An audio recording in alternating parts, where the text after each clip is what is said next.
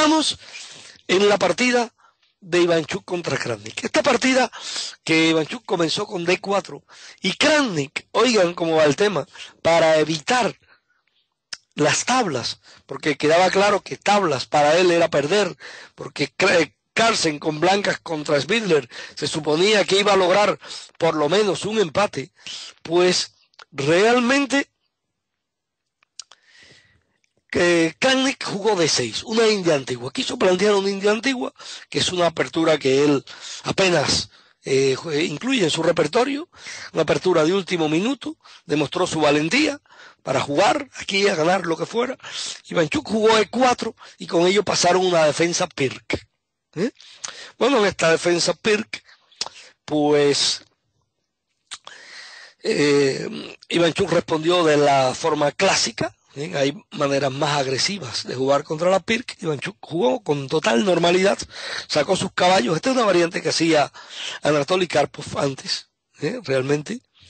Bueno, Kranich buscó con esta idea aguda de A6 y caballo C6.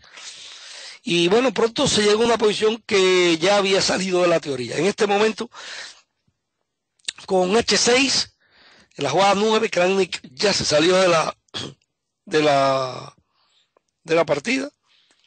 Y bueno, se salió de la teoría.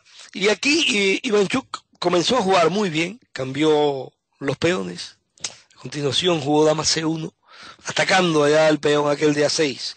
Y también cediendo la casilla de 1 para que la torre viniera aquí a molestar. bueno,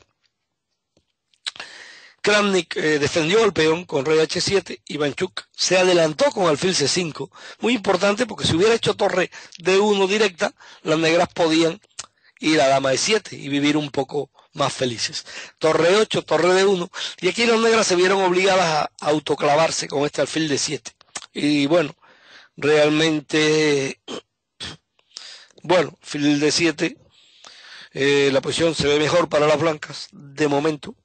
¿Mm? Caballo retrocede. Y aquí Ivanchuk rompe en A4 y obtiene una mejor estructura. Esta mejor estructura llevó Ivanchuk a la victoria. ¿eh? Pero observen cómo ha sido. Bien, porque Krannik se ubica muy bien su caballo y eh, pone este caballo en F4. A estas alturas, jugada 20, eh, realmente pues había mucho peligro para Ivanchuk. Objetivamente él está quizás un poco mejor en la posición, pero las negras tienen muchas amenazas. Por ejemplo, caballo por G2. Una amenaza muy peligrosa para después dar caballo F4 jaque y dar mates y cosas por aquí. ¿eh? Muy, muy, pero muy peligrosa. Realmente esta jugada. Ivanchuk reaccionó con también con mucha energía, caballo de 5 eh, hizo alfil B5, alfil B3 aquí, también seguía el peligro, cualquier momento el alfil podía venir a E2, que combinarlo con un caballo por C5 para si la dama pues capturaba en C5 luego un alfil por caballo en F3, destruyendo el enroque. Bien, la posición estaba muy, pero muy complicada. Pero aquí eh, en este momento muchos usuarios aquí en el ICC estaban analizando la posibilidad de caballo por C5. Fue cuando Kranich retrocedió a, C6. Habrá que mirar esto bien. Eh, aquí Ivanchuk hizo esta jugada torre A5 muy fuerte, controlando aquí la casilla. C5, preparándose para doblar torres contra este peón en, en C6. Dama B7, jugó Kranich, que parecía estar bien, pero aquí Ivanchuk sacó su varita mágica y ha hecho esta jugada excelente. G3, en una jugada importantísima.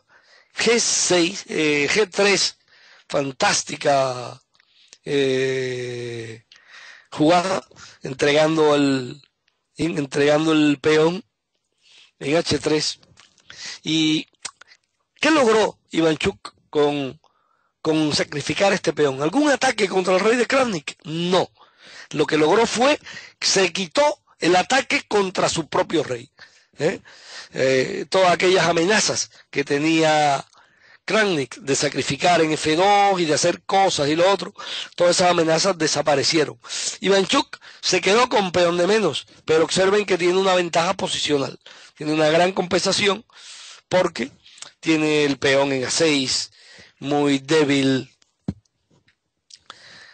Eh, tiene, bueno, el, caballo está muy bien aquí en D5, el otro caballo está peor en, G5.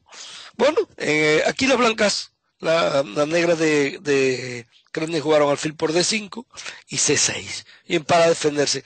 Pero al hacer esto, se quedó ya condenado el peón de, de A6 y muy rápidamente Ivanchuk comenzó a, a recomponer su, su ataque, dama B3, H5, ahora vino alfil E3, una fuerte jugada, eh, tocando aquí este caballo. Hay que recordar que este alfil toca allá en F7 y cuando el caballo vino a E6, la torre entonces vino a 1 y comenzó a molestar allí fuertemente. Bueno, en este momento Kranich eh, optó por sacrificar un peón para buscar juego eh, en, el, en el flanco rey. Pero Ivanchuk no se inmutó. Eh, capturó allí los peones. Aquí había otro momento crítico. Momento crítico porque, bueno, podía capturar allá en H4. Es decir, cambiar primero las torres y capturar en H4. Era, era este era un momento importante. Bien, si hubiera, pues, cambiado Kranich las torres en A6. Era, bueno, era una posibilidad realmente. Y bueno, pues ahora torre C8. La torre regresa a H1. Eh, a esta altura Ivanchuk ha recuperado su peón. Comienza a molestar. Tiene peón débil. Eh, y, y, además la super diagonal hacia F7. Aquí está sufriendo. Bien, queda claro que, que sufre muchísimo. Bien. Entonces, torre C7 le hizo alfil por caballo una jugada fuerte. Y a continuación B5, otra jugada terrible. Realmente, eh, bueno, ahora se amenaza B6. Y, y claro, ese peón va a quedar pasado. No pueden las negras capturar en B5, porque le harían torre por torre y se cae todo allá en el flanco rey. Sería extremadamente peligroso. Kramnik clavó aquí, pero le hicieron B6 y cuando hizo C5 le jugaron la torre a B1 y a continuación dama C5. A partir de aquí fue realmente implacable. Eh, Ivanchuk jugó con una técnica extraordinaria. Bien. Dama B8 juega Kranich y aquí Ivanchuk apretó más las tuercas, dobló torres, eh, está amenazando torre A8. Hay unos problemas aquí en esta eh, octava fila coordinados con el peón en C5, hay clavadas, pero hay también clavadas por H6. Es realmente, bueno, pues es eh, eh, bien, es, el, es, una situación terrible. Jugó torre de 6. Eh, pero Ivanchuk inmediatamente penetró allá en A8. Se produjo esta simplificación y se ubicó. Eh, Ivanchuk también ganaba por torre B1, pero por torre A6 era todavía más eficiente. Cuando hizo esta jugada eh, Ivanchuk, pues Kranich de, optó por, por abandonar y con ello pues se terminó realmente este torneo de candidatos. Bueno, ¿por qué abandona Kranich? Bueno, las blancas amenazan rey E2, por ejemplo, imaginemos que las negras juegan rey F8, las blancas juegan rey E2. Si si las negras permiten que el rey de las blancas avance por B5, ya sería terrible, porque el rey se pone en B5 y ya, bueno, se acaba la partida, le comen el peón en C5 y serían tres peones pasados completamente en el flanco dama. Si las negras tratan de evitarlo con A4, pues las blancas tienen tiempo de ser torre A4 aprovechando que el alfil está protegiendo aquel peón. Y bueno, ya esto pues realmente sería eh, más sencillo todavía torre entraría en C6 y a partir de aquí el peón, bueno, pues ya vendría a, bien a rematar la faena. Bueno, pues ha sido bien una partida realmente eh, extraordinaria, donde Ivanchuk demostró que, que a sus años, pues sigue siendo un gran genio del ajedrez. Ivanchuk, ¿cuándo nació Ivanchuk? Vamos a verificarlo. Ivanchuk nació en el año 69, eh, tiene 44 años, mientras que Kranich, pues nació en el año 75, eh, tiene pues eh,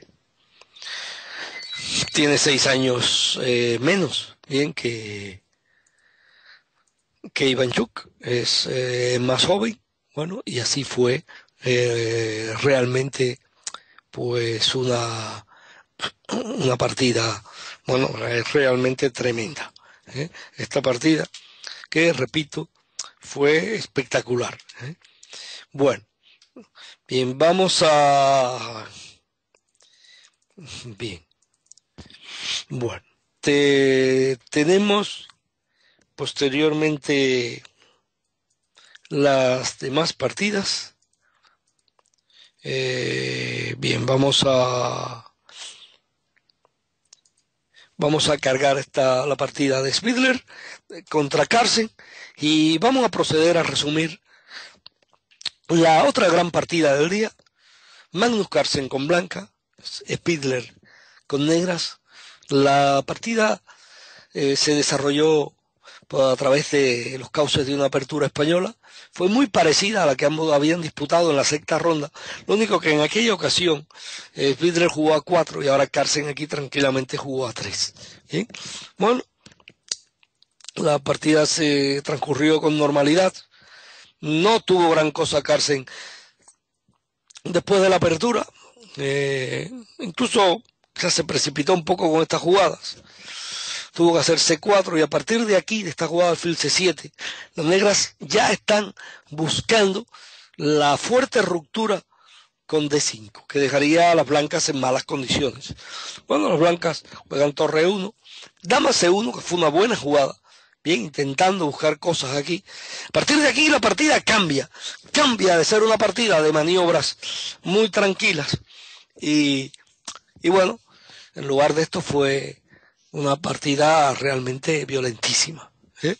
Bueno, juega caballo H5, Spidler, G3, que estuvo bien, H, G6, jaque, y ahora, en este momento, eh, bueno, aquí había jugadas interesantes. Había, nosotros estuvimos analizando la jugada B4, muy interesante, porque si, si capturaban ahí las negras podía venir el caballo por F7. Era una jugada muy interesante. Carlsen optó por jugar caballo G5, también era interesante. Y ahora en esta posición, pues las blancas están mejor. Las blancas tienen una pequeña ventaja. Las blancas podían tranquilamente hacer alfil por alfil. Aquí, alfil por alfil, dama por alfil y caballo G4. Tienen una pequeña ventaja. Están amenazando alfil F6 jaque. Están bien. Las blancas están bien. Pero, en su lugar, Carlsen realizó la siguiente jugada. Caballo G4 tratando de emplear tácticas y cosas, tácticas que no le funcionaron. No le funcionaron porque el alfil de las negras queda con vida.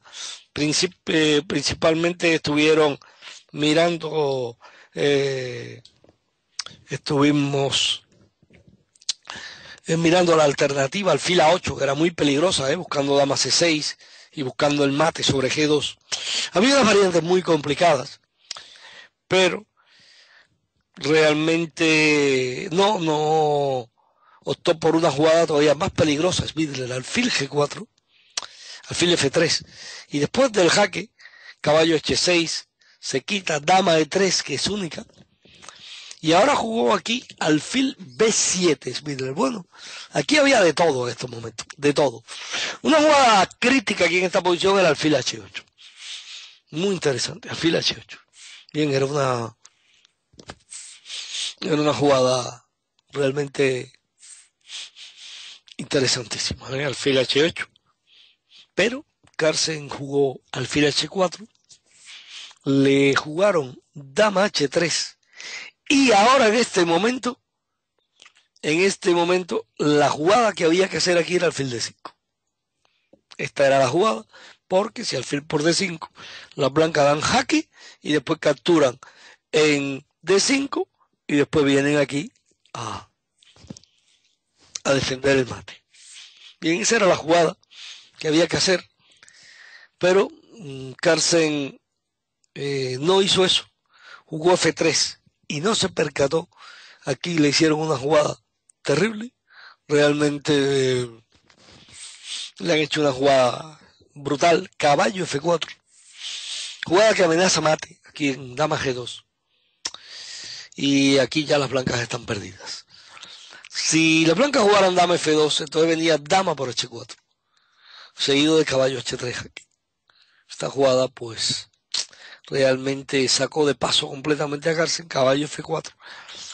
Tuvo que capturar aquí, pero bueno, ya cayó una debacle, porque ahora le hicieron otra terrible jugada. Alfil por F3, un alfil que, que bueno, no se puede capturar, porque sigue dama por S1 jaque, y no se puede realmente capturar esa torre. Bueno, las blancas tienen que venir a dama F2 jaque, dama G4. Se cae aquí ya en un final que es bien bastante triste, porque el caballo está...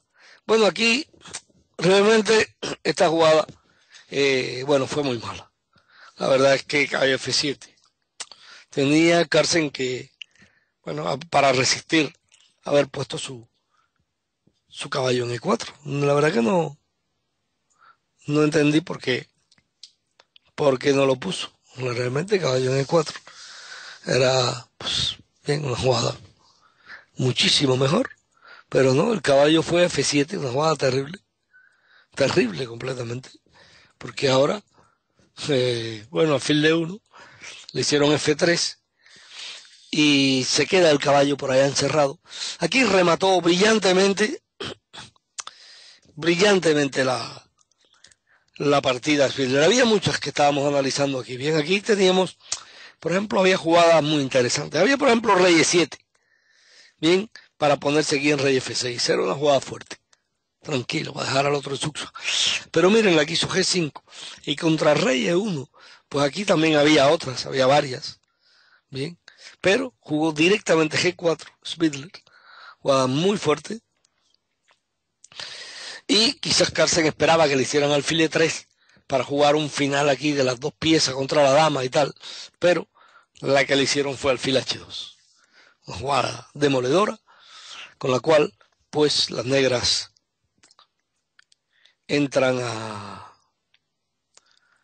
entran a dama y con esa jugada, bueno, pues se obliga a la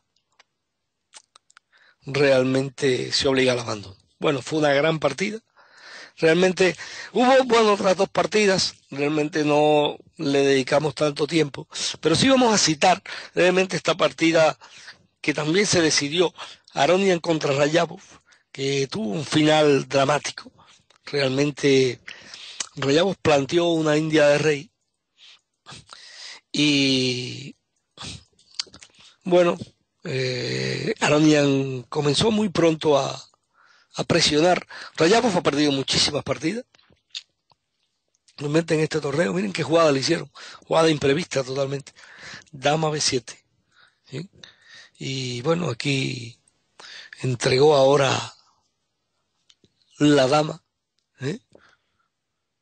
Una forma muy original, bien, de jugar, la que empleó Aronia, brillantemente, entregando su dama. A partir de aquí comenzamos en una carrera increíble, una carrera fabulosa. El alfil de la negra en D4 está muy bien posicionado, los dos peones avanzan y uno se quiere sacrificar para que el otro para que el otro venga a dama. Entonces, bueno, eh, estaba tratando de frenarlo todo, pero este peón pasó y estuvo a punto de entrar a dama. Bien, observen cómo se va a proceder ahora al final de esta partida, es realmente impresionante. Las blancas amenazan mate, bien en H7, las negras juegan G5, las blancas hacen alfil 4, bien jugada que amenaza mate también, ¿eh? Jugada que amenaza ese mate brillantísimo Y bueno, ahora para evitar el mate, pues eh, las negras van a tener que ser dama por alfil. Bien, las blancas capturan aquí. El peón de las negras corona a dama. Eh, observen cómo, cómo se pone todo, todo de esta manera que parece, bueno, parece que las negras finalmente es que se escaparán. ¿eh? Es una, una posición eh, tremenda de final, pero las blancas disponen de torre de 6 jaque. ¿eh? Una jugada que obliga a que el rey de las negras venga H5. Cuando este rey viene H5, pues bien, entonces van a... Bien, vamos a ver cómo era en esta... ¿Cómo era el mate en esta posición? Bien, estuvimos eh, mirando la, la posición que teníamos aquí. Había varias maneras de, de buscar el, el mate. Torre por H7, jaque, el rey sale. ¿Bien? El rey sale, pero wow, ¿qué pasa? ¿Qué posición? Bueno, esto realmente me lo pillamos aquí cuando estábamos en el apuro de tiempo. Estábamos en el apuro de tiempo, estábamos eh, a punto de, de entrar a, a analizar estas estas eh, variantes. Había muchas ideas aquí. No sé qué iba si si, si iba a encontrar sobre el tablero la, la solución más eficiente eh, Aronian, por ejemplo. Bueno, estaba la jugada de G4 jaque, observen esta jugada, qué poderosa jugada. Si la negra en rey por H4, viene torre H6 jaque, si rey por peón F3 que mate. Y, y también, pues, contra G4, si las negras capturan rey por peón, pues entonces el mate se produce por otro lugar. Viene F3 jaque. Y a continuación va a llegar el mate con torre por H7. ¿eh? Cuando el rey se retire a H5 o tome F4, pues entonces llega el, llega el mate. Así que, bueno, fue una partida eh, realmente brillante. Bueno, el desempate ha decidido este gran torneo. Eh, las reglas estaban claras. Había un primer criterio, era el resultado individual. Ese era el primer criterio de desempate quien hubiera ganado el resultado individual ganaba el desempate. En este caso, Carsen y Kranich habían empatado en sus dos partidas. Por tanto, ese criterio eh, ya eh, no, no era suficiente para desempatar. El siguiente criterio era el de mayor cantidad de victorias. Y este criterio era ya decisivo. Antes de llegar a la ronda de hoy, Carsen había ganado cinco partidas y Kranich había ganado cuatro. Por tanto, realmente había que había que desempatar de esa, de esa manera, había que Carson le bastaba hacer el mismo resultado que Kranich. Si Kranich ganaba, Carson tenía que ganar. Y si Kranich hacía tablas, Carson necesitaba un empate. Pero lo que nadie previó realmente en este torneo fue que ambos fueran a caer derrotados en la última ronda. Fue una situación realmente tremenda. Ivanchuk que estaba más o menos apretando un poco, pero, pero siempre muy por detrás en el tiempo. Por tanto, tal parecía que Kranich iba a ganar de una manera o de otra. Y Carsen se presionó, intentó buscar unas locuras por allí que no le funcionaron. Daba la impresión de que Carsen al final del torneo estaba cansado. La presión se lo comía vivo, estaba fuera de ideas. Bien, daba esa impresión. Y realmente, pues lo que ocurrió fue lo contrario, que el primero en quedar completamente perdido fue Magnus Carlsen.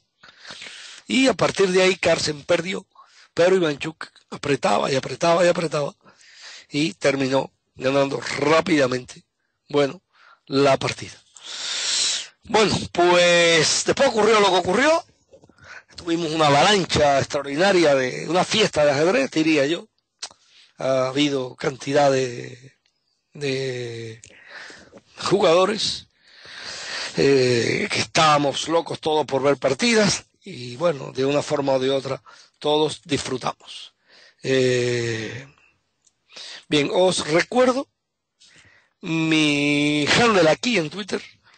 Podéis seguirme en Twitter hasta que se presente un nuevo torneo. Pues estaré yo eh, con puntualidad eh, tuiteando acerca de los principales torneos, las principales cosas que sucedan en el mundo del ajedrez.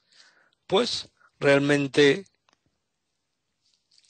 os, os recomiendo si si me seguís en Twitter, pues seguí, seré pues más capaz de poder ir interactuando bien con todos vosotros. Bueno, ha sido un placer estar por con todos vosotros aquí. Realmente ya tengo ganas de, de que sea la el próximo torneo. La verdad es que, bueno, esto es una ha sido una gran fiesta de la guerra. Este torneo ha provocado pues unas controversias tremendas. Os eh, recuerdo que en ajedrez21.com tenemos una página impresionante con con todo. Realmente hay fotos, hay todas las partidas, hay enlace a todos los vídeos, a todos los resúmenes. Realmente eh, genial. Recuerdo también que en la plataforma Chesaps tenemos eh, un libro de Magnus Carlsen a la venta, a un precio súper económico. Todas sus partidas, un libro muy interesante. Y en las próximas semanas tendremos muchas más novedades en Chesaps. Así que os eh, recomiendo. Eh, voy a teclear aquí la, la URL chesaps.net. Aquí estamos con los libros en formato electrónico que estamos fabricando todos nosotros. Estamos muy involucrados en esta tarea y también aprovecho para llamar vuestra atención a esta plataforma que, que consume ahora prácticamente todo nuestro tiempo. Estamos trabajando, estamos pegando muy fuerte en, en ella. Bueno, pues me despido. Ha sido, como siempre, un gran placer estar aquí con todos vosotros. Y será hasta una nueva ocasión.